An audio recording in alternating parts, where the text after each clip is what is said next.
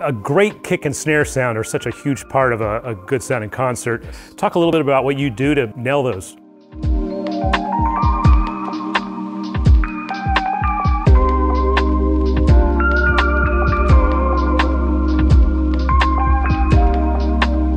Yeah, and we have a phenomenal drummer, Phil Lawson, and uh, he has great gear. Uh, we've been able to be very um, open about mic selections, and you know we have a really great dialogue with the band, and they're always very interested in trying something cool.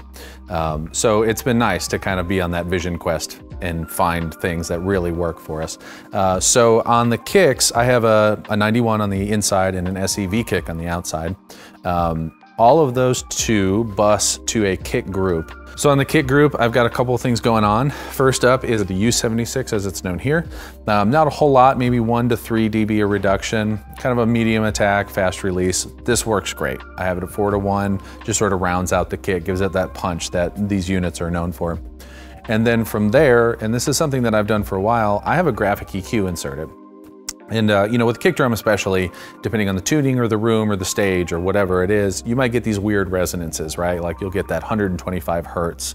Uh, and if you just kind of want to notch it out, this to me is the easiest way to do that, you know? And the cool thing about the Rivage is you can send this down to your faders, right? So I'll just very quickly find this on my RTA, say, oh, I got some problems going on at 50 hertz today. And I can literally just notch that guy right out. So you're flattening this out every day? Every single day, and then if I have problem areas, I can just go right to this. Oh, nice. Yeah, and it's it's a little bit nicer because I can keep the generic sound with the parametric that I have going on or have been having going on, and then just this is a problem solver every day. I do this on the kick and the snare as well, just because you might have a weird resonance or something, and in the middle of the show, if the drum tunes down, you know, people come in, temperatures change, you don't have time to run up there and say, hey, can you tweak that, you know, snare or whatever? So right. this is an easy way to do that. On the snare processing, same exact deal. I've got the snare top, snare bottom, and I actually have a snare two that all goes to this group. First up is the DaNSe plugin, and we talked a little bit about this before, but this is a great way to get rid of some hi-hat right? This hi-hat bleed that's coming in because I've got a snare primary and I also have a snare second mic. So this kind of eliminates both of those. I have it set fairly tight just to get that initial snap. And the Bricasti that I have um, as the room mic kind of rounds out that snare sound. So it's better to keep it isolated on the front end. From there, it goes to a dynamic EQ. I'm doing something a little counterintuitive with this, which is kind of my normal. I usually do things very wrong and then somehow it ends up right but uh, I'm doing a big cut at around 500 hertz in the snare. Uh, this is a chrome over brass snare, so it's got die-cast tubes, kind of a honky sounding snare drum, and this gets rid of a lot of that honk. And the nice part about the dynamic EQ is I can kind of set my Q, I can make it a real wide or a real narrow, whatever really works that day.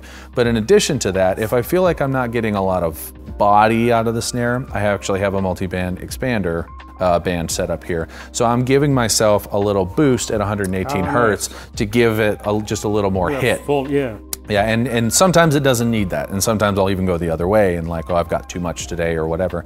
But sometimes I just like to, to hear that. And uh, I actually have this set up in a couple of scenes to defeat that band. So, you know, some bigger sounds uh, will come in certain times of the set and, you know, I can thin it out in others. But that works out really well.